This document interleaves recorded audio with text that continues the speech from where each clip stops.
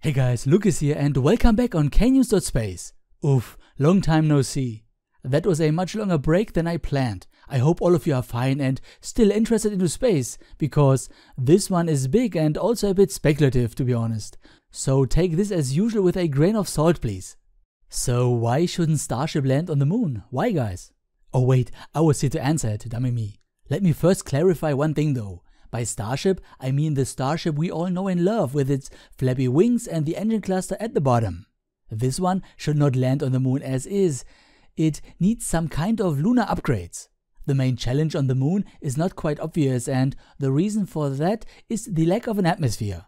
That's the reason Starship as is should not even attempt to land there. It's just too dangerous. Now, let's explore this a bit deeper and find out why that the reason is. A rocket like Starship mixes two components it stores in tanks to generate thrust.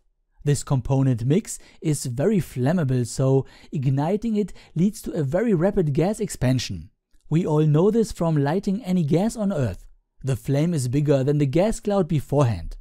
With nowhere to go inside the rocket engine, it of course shoots out the nozzle into space. Important to keep in mind, no mass is lost in the process. This is not some kind of nuclear reaction that would turn mass into energy. This is just a good old chemical reaction.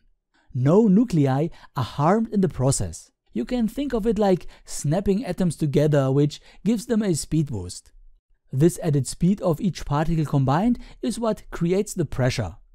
A tank like that of Starship can carry round about 1000 metric tons of propellant and with a burn time of just a couple minutes, it ends up shooting hundreds of kilograms into space per second at speeds of almost 4 kilometers a second. The exhaust would run a marathon in just 10 seconds. That's the time I need to realize the race has even started. Now imagine you'd fire a 100 kilogram heavy projectile at that speed into anything there would be nothing left but a giant crater. Now compare that to Starship landing on the moon. It would melt the cheese and sink. That was a joke. They used to say the moon is made of cheese because of all the craters. A very dusty ball of cheese. In fact, Starship would blow all the dust into space. And that's the kicker, ladies and gentlemen. Holding a flame so close to the surface could propel moon dust and tiny rocks to orbital speeds. Remember, the exhaust gas shoots out at 4 km a second. It only takes 1 km a second to reach moon orbit and 2 km a second to achieve escape velocity. This shoops would not only bombard the lunar surface, but also wipe out anything in Earth orbit. GPS, satellite television, weather satellites and of course Starlink would be in great danger. The risk to ruin their own business is way too high, so to be better safe than sorry, SpaceX has to come up with something new. Of course, they have great engineers, so I believe they already did come up with a solution. If you check their latest images carefully, you can see these weird beams of light coming off Starship. I believe these are landing thrusters and they are used to avoid exactly that. Being further away from the surface, the gas has already expanded far beyond whatever density would be needed to push some rocks.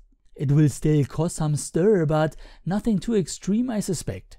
Another thing to keep in mind are of course moon bases at some point. Landing Starship, you really don't want to puncture scientists' bodies and their huts with artificial micrometeorites.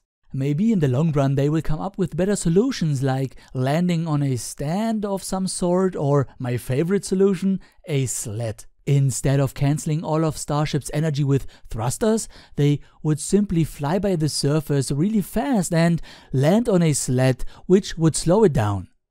Doing so, it would produce energy that it could later use to speed it up again. I will actually make a separate video on that so feel free to subscribe if you haven't yet. So what do you guys think about the artificial meteor shower? Is this some kind of corona delirium or am I onto something? Or has Elon already talked about it and I didn't even notice? Let me know in the comments. As always, auf Wiedersehen and thank you for watching.